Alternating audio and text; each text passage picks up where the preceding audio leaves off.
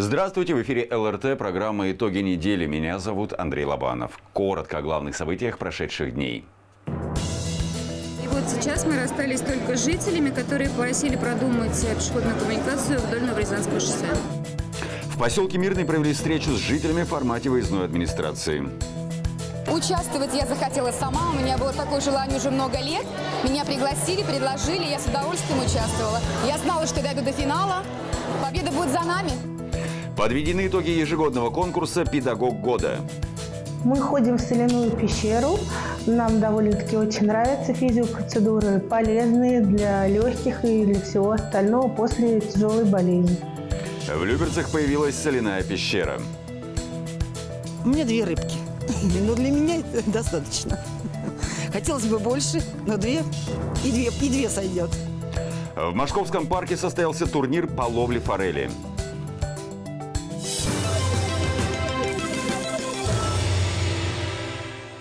А теперь подробнее об этих и других событиях. В администрации городского округа Люберцы прошло еженедельное оперативное совещание. Руководители структурных подразделений и силовых ведомств отчитались перед главой муниципалитета в проделанной работе. Подробности в сюжете моих коллег. На прошлой неделе в Межмуниципальное управление МВД России Люберецкая поступило более 2000 обращений. Из 20 уголовных дел, возбужденных за отчетный период, 15 раскрыто по горячим следам. На территории обслуживания ведомства произошло 290 ДТП с тремя пострадавшими. Еще раз хочу обратиться к нашим гражданам, к нашим э, соцработникам. Я вам уже наверное, в течение третьего года здесь довожу эту информацию, что если вам позвонили с правоохранительных органов, что ваши счета там заблокированы, еще что-то, вы перезвоните своему там, менеджеру в банк, позвоните, если у вас нет счетов в банке. Люди идут, берут большие кредиты, там 2-3 миллиона, 5 миллионов кому-то отправляют. Домовые чаты через все управляющие компании, в которых они созданы. Нужно эту информацию доводить регулярно. Также на информационных досках в подъездах эта информация должна быть и в транспорте. На прошлой неделе городской округ Люберцы накрыл очередной мощный снегопад. Высота снежного покрова местами достигала 25 сантиметров. На борьбу с обильными осадками вышли около тысячи дворников и около 150 единиц спецтехники. В первые два дня э, после снегопада это пятница и суббота прошлой недели, особое внимание уделялось входным группам, пешеходным э, коммуникациям и подходам к контейнерным площадкам. После того, как э, была завершена работа по расчистке входных групп э, и пешеходных коммуникаций, а она в первые два дня была завершена у нас на 99% и уже в воскресенье завершена на 100%, управляющие компании приступили к расчистке проездов и внутри, ну, внутридомовых дорог. О ликвидации последствий погодной стихии доложили представители дорожного хозяйства. На совещании озвучили адреса, где до сих пор требуется очистка снега. Глава городского округа поручил сделать эту работу в кратчайшие сроки. По прогнозам синоптиков, на этой неделе в Подмосковье ожидается очередной снежный коллапс. Луиза Игиазарян, Сергей Гвоздев, Денис Заугольников, телеканал ЛРТ. Глава Люберец Владимир Волков и его профильные заместители встретились с жителями городского округа. На этот раз выездная администрация работала в поселке Мирный. Какие вопросы и проблемы волнуют жителей нового микрорайона, расскажет наш корреспондент. Я обратился по вопросу развития, так сказать, автобусного парка, который обслуживает ЖК. Просто хотелось бы, чтобы здесь э, было, было побольше либо низкопольных маршрутов, которые удобны для там, мобильных пассажиров, там, жителей с детьми, с колясками детскими, вот, и большой вместимости автобусов. На этой площадке можно получить ответ на вопрос любой направленности. Представители всех сфер жизнедеятельности округа на месте и готовы к диалогу с жителями. Все жалобы и обращения берут в работу моментально. По уборке в подъезды данного микрорайона, где мы находимся, жители обращались и по качеству а, водопроводной воды. У жителей есть нарекания. Совместно с управляющей компанией наметили план действий. И завтра уже к жителю выйдет сотрудник управляющей компании для проверки и принятия мер. А в разделе благоустройства среди самых часто задаваемых вопросов обустройство пешеходного перехода к парку «Лесная опушка». Новая зона отдыха пользуется большой популярностью среди жителей Томилина парк. Прямо рядом с ЖК непосредственно строится э, южно-лыткаринская автодорога, и из-за чего мы, получается, все жители будем отрезаны от единственной зеленой зоны. Это лесопарк, Томилинский лесопарк, и сейчас он парк «Лесная опушка». Нам обещали ее построить, но до сих пор нет. Э, так как у нас ЖК расширяется, очень много домов, очень много детей и пожилых людей, некому, ну, некуда выйти погулять даже. И вот сейчас мы расстались только с жителями, которые просили продумать пешеходную коммуникацию вдоль Новорязанского шоссе. Открывая лесную опушку и э, подводя, э, скажем так, входную группу максимально к ну, строящейся дороге, мы, конечно же, продумывали, что жители поселка Мирного должны попадать да, на красивую зеленую территорию. Ровным счетом, как и обеспечение безопасности, да, создание пешеходного тротуара вдоль Большого Новорязанского шоссе, конечно, это такой же очень важный вопрос. Наряду с профильными заместителями, а также руководителями управляющих и ресурсоснабжающих компаний на вопросы жителей отвечал и Владимир Волков. По итогам встречи глава Люберец дал своим коллегам ряд поручений. В результате большой командной работы ни одно обращение не останется без внимания и ответа. Луиза Игиазарян, Петр Пономаренко, телеканал ЛРТ. 8 сентября 1941 года настал один из самых трагических этапов Великой Отечественной войны. 872 дня длилось сражение за Ленинград. Людмила Иванова застала войну в детстве. 27 января отмечают День освобождения Ленинграда от фашистской блокады. Людмила Семеновна поделилась воспоминаниями о тех годах с Анастасией Кладиновой. Мы должны были эвакуироваться, но по словам мамы, это мама потом рассказывала, что как, будто, как бы папа сказал, зачем вы будете уезжать, ведь как бы, война будет наподобие финской, оставайтесь, и мы остались. Вот так случилось, что мы попали в блокаду. Людмила Семеновна родилась в 1935 году в Ленинграде. Блокада началась, когда ей было 6 лет. Выживали в те времена вместе с матерью и сестрой. Отца забрали на фронт. Он погиб в феврале 1944 при снятии блокады. Я была очень таким домашним маминым ребенком, и очень сложно сказать, что это были какие-то мои вот такие, что я что-то понимала, понимаете? Осознание пришло, конечно, попозже, вот, когда уже почувствовала все ужасы, бомбежки. Э, в общем, все было очень страшно. Однажды в 1944 году и их мама не вернулась с работы. Так остались они вдвоем с младшей сестрой. Потом был детский дом. Позже выяснилось, что мать заболела и попала в больницу, где сообщила о двух маленьких дочках. Это был хороший детский дом, как я сейчас вспоминаю. Он нас, в общем-то, и спас от смерти. И я э, маме потом у мамы спросила, почему она нас сразу не забрала из детского дома. Она говорит, пришла забирать, а директриса говорит, вы с ума сошли, мы ваших детей три раза в день кормим. У вашей старшей девочки, это у меня, туберкулез, и мы ей даем рыбий жир. Людмила Иванова с мужем покинула Ленинград в 1959 году. Долгие годы ездили по военным гарнизонам. В 1995-м семья переехала в Люберцы. К 80-летию снятия блокады глава городского округа Владимир Волков вручил Людмиле Семеновне почетный знак жителя блокадного Ленинграда. Анастасия Кладинова, Сергей Гвоздев, телеканал ЛРТ.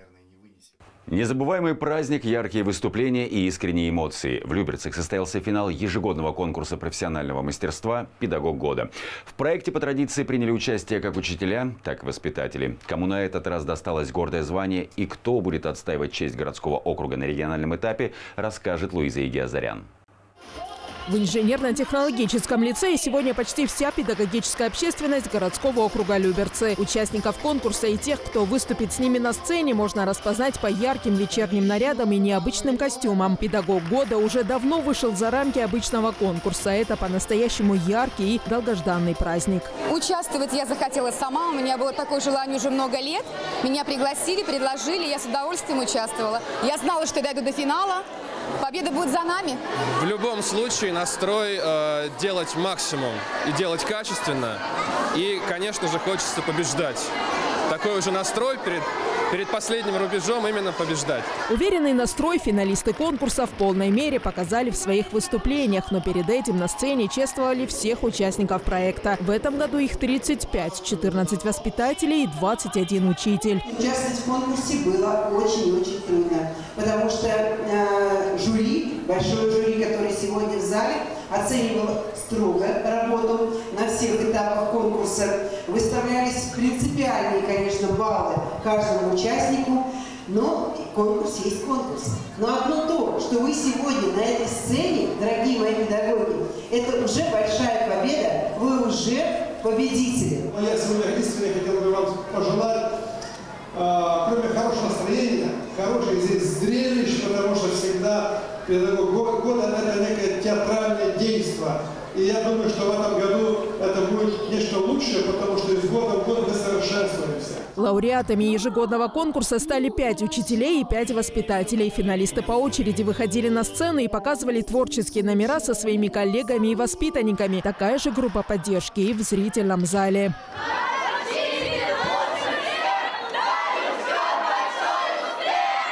Я понял, что в нашем округе живут очень творческие люди, об этом знал всегда, но так настолько творческие педагоги у нас, я никогда не додумался и не мог об этом подумать. Я понимаю, какая была подготовка, но нужно всегда подводить итоги. Номинация «Воспитатель года» в этом году лучшим воспитателем стала Шумилова Анна Алексеевна.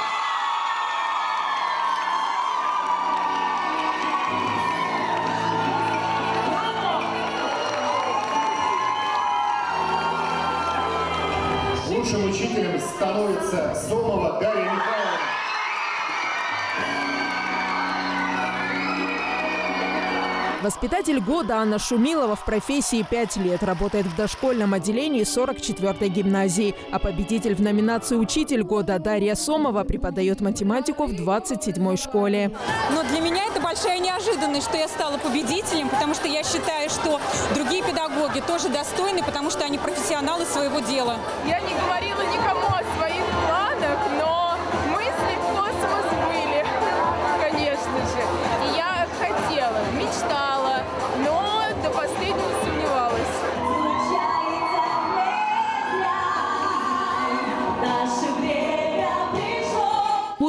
Луиза Игиазарян, Денис Заугольников, телеканал ЛРТ.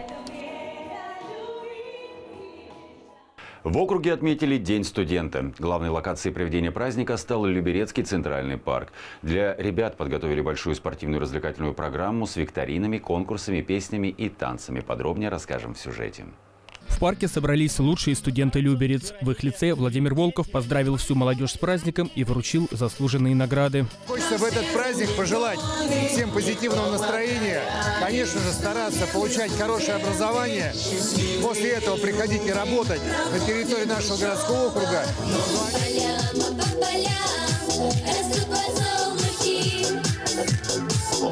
Они желтые,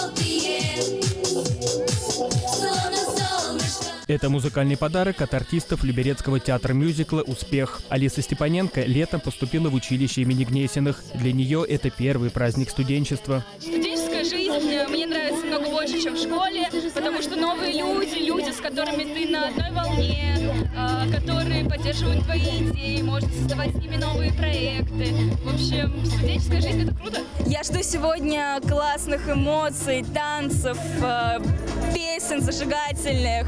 В общем, море позитивных эмоций. Для ребят подготовили спортивно-интеллектуальный квест. Чтобы добиться хорошего результата, члены команд должны уметь слушать и слышать друг друга. Студентка гуманитарно-социального колледжа Айла Мустафаева с детства на «ты» со спортом. Но во время стрельбы из лука что-то пошло не так. Стреляла в первый раз, но вот так получилось. А так у меня зрение плохое. Э, День студента вообще проходит отлично. Очень э, прикольные задания придумали. Очень интересные, очень разнообразные, я бы так сказала. И дает э, повод развеяться лишний раз. Студенты проявили творческие и интеллектуальные способности, знания по истории родного края, в экологии и волонтерстве. Здесь представлены а, разные виды волонтеров, ну, скажем так, по направленной деятельности. И ребятам нужно угадать слова, которые относятся к данной деятельности волонтерской. Квест объединил студентов из всех шести высших и средних профессиональных учебных заведений округа. Первое место заняла команда МГАВК. Богдан Колесников, Петр Пономаренко, телеканал ЛРТ. Научно доказано, что микроклимат, который создается в соляной пещере, благотворно воздействует на организм ребенка, его нервную, сердечно-сосудистую и дыхательную системы. Что такое соляная пещера и как проходят процедуры, вы узнаете из сюжета Богдана Колесникова. Маленькие пациенты с удовольствием идут на такую процедуру. Волшебная соляная пещера, как называют дети специально оборудованную комнату, заработала в поликлинике номер два. Ее стены покрыты микрочастицами соли. Пребывание детей в соляной пещере создает эффект э, санации дыхательных путей гипертоническим раствором. То есть получается, что мокрота, которая скапливается в верхних дыхательных путях или в путях носовой полости, она разжижается и выводится из организма. Воздух в соляной пещере, насыщенный полезными ионами и минералами, приближен к настоящим соляным пещерам, которые находятся на глубине сотен метров под землей. Этот вид терапии считается одним из самых доступных способов реабилитации при хронических бронхолегочных заболеваниях. Процедура проходит весело, бодро. Детки очень любят ходить э, к нам, потому что э, включаются мультики, они могут передвигаться свободно, либо лежать и дышать воздухом э, в этой пещерке. Им очень интересно. Включается аппарат, и детки просто лежат, дышат солью. Процедура показана детям после перенесенных бронхитов, пневмонии и различных лор-заболеваниях и кожных патологиях. Помогает укрепить иммунитет часто болеющим вирусными инфекциями. Мы ходим в соляную пещеру. Нам довольно-таки очень нравятся физиопроцедуры, полезные для легких и для всего остального после тяжелой болезни. Попасть на процедуру в поликлинику номер два можно по направлению участкового педиатра или другого лечащего врача. Богдан Колесников, телеканал ЛРТ.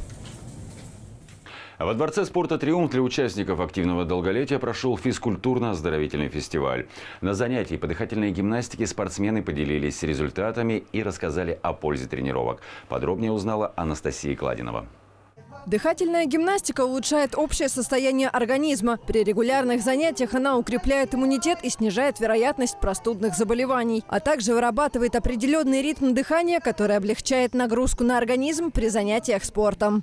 Она необходима нам просто для качественной здоровой жизни. В какой-то момент, когда мы стрессуем, происходят э, ситуации, когда дыхание сбивается, природный естественный ритм. И в нужный момент, как рассказывают наши участники, тело вспоминает, когда нужно выдохнуть, когда надо часто дыхать, как, дышать, когда нужно, эм, ну, скажем так, сделать паузу. На занятиях по гимнастике дыхания используют разные практики и медитации. Самый популярный – метод Стрельниковой – шумный вдох и выдох через рот. Для ритмичности добавляют хлопки и топот. После часового занятия каждый ощущает чувство легкости.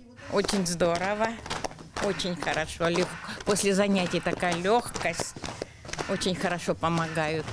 Все, и- все занятия. Прям летаем, летаем. Прям выходим, и уже такая легкость какая-то приятная. У нас есть такое упражнение, когда мы хохочем. Мы поднимаем руки и хохочем. У меня не получается. Я всегда хочу как-то истерически. истерически. Мне как-то такое волнение получается. Присоединиться к занятиям может каждый желающий. Они проходят в спортивной школе Олимпийского резерва по адресу Октябрьский проспект 349А каждую среду в 11.00 и в воскресенье в 13.00. Анастасия Кладинова, Сергей Гвоздев, телеканал ЛРТ. Рыбакам боевая готовность. В Машковском парке впервые прошел турнир по ловле форели. С утра участники приехали на озеро, чтобы испытать свою удачу. Как прошли соревнования, расскажет наш корреспондент. С 7 утра рыбаки готовились к турниру. Участники снарядились удочками, крючками, наживкой и сачками. Рыбалка длилась 4 часа. В озеро для соревнований выпустили около 300 килограммов форели. По окончанию турнира рыбакам приятный бонус. Есть определенный регламент. Соответственно, одна активная снасть, одна пассивная снасть. Э, Количество пойманной рыбы, ну как бы у нас полный безлимит. По окончанию турнира все рыбаки забирают рыбу с собой. В турнире участвовали рыбаки из Подмосковья и Москвы. Среди конкурсантов – женщины и дети. У каждого участника свой подход к ловле. Однако форель, по словам рыбаков, хитрая, и поймать ее не так-то просто. Это самое интересное, то, что можно испытать под адреналин. С форелью так не пойдет. Она очень хитрая и очень сложно подобрать приманки какие-нибудь, где там супер какая-то хитрость и так далее. У меня две рыбки. Но для меня это достаточно. Хотелось бы больше, но две и две, и две сойдет. Такие турниры планируют сделать ежегодными. За лидерство боролись 60 участников. Те, кто вошел в первую десятку, получили подарочные сертификаты на бесплатную рыбалку и подарки. А участников, вошедших в тройку лидеров, наградили денежными сертификатами. Анастасия Кладинова, Петр Пономаренко, телеканал ЛРТ. В рамках проекта губернатора «Зима в Подмосковье» на центральном катке Люберец состоялся двухдневный спортивный праздник. Футбольная школа «Спартак» и Федерация самбо городского округа пригласили всех желающих на бесплатные катания на льду, мастер-классы от фигуристов и участие в конкурсах. Наши съемочные группы работали на празднике.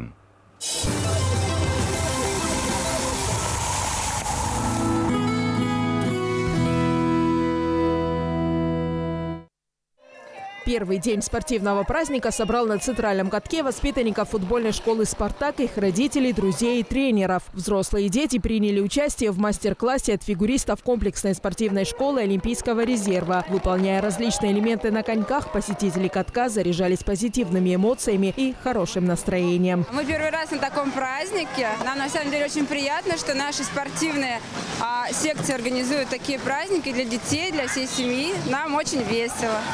Я приехала со своей семьей. У меня тут просто брат учится, футболист. Мне очень нравится этот праздник. Праздник супер! Я еще хочу таких праздников. Праздник на льду организован, чтобы объединить в дружный коллектив не только юных футболистов, но и их семьи. Помимо показательного выступления, для спортсменов подготовили конкурсы и тематические призы. Эта здоровая атмосфера позволяет популяризировать не только футбол, но и популяризировать спорт в целом. Сегодня у нас тематический приз – это лучший дресс-код сегодняшнего мероприятия. Кто по итогам голосования займет первое место, тот и получит уникальный э, спортивный футбольный мяч э, в брендбуке «Зима в Подмосковье». Праздник для своих воспитанников устроили представители Федерации самбо городского округа Люберцы. Такие встречи за рамками борцовского ковра еще больше сплачивают коллектив. А тренировка на льду вполне может пригодиться и в самбо. Я считаю, что это э, тоже развитие координации, это большой плюс. Помимо этого, общение с детьми в неформальной обстановке. Для нас это важно. Э, хочется, чтобы дети активно, во-первых, проводили свои выходные. Коммуникация была и с родителями, и с детьми вне тренировочного процесса. Я очень хотел сюда прийти и пришел. Мне нравится, катался. Чему-то научился, например, делать фонарик. Я раньше катался, а сейчас разучился, но благодаря это, этому занятию я смог как-то свои навыки обратно приобрести. Тренеры Федерации пригласили на лед и подопечных семейного центра «Люберецкий». Они также занимаются самбо на базе стадиона «Урожай». Мы, конечно, все поехали с большим восторгом сюда. Тем более день такой хороший, и мороз, и солнце, как у Пушкина. Некоторые наши воспитанники впервые встали на коньки, впервые увидели, что такое каток, и делают свои первые шаги. Прежде всего надо э, держать ну, ровную спину, вот, чтобы не подскользнуться, не упасть. И смотреть не вниз, а вперед. И ноги влево-вправо. Всего в двухдневном спортивном празднике на льду приняли участие более 400 детей и взрослых. Подобные встречи проходят в Люберцах каждый год. Луиза Игиазарян, Анастасия Кладинова, Петр Пономаренко, телеканал ЛРТ.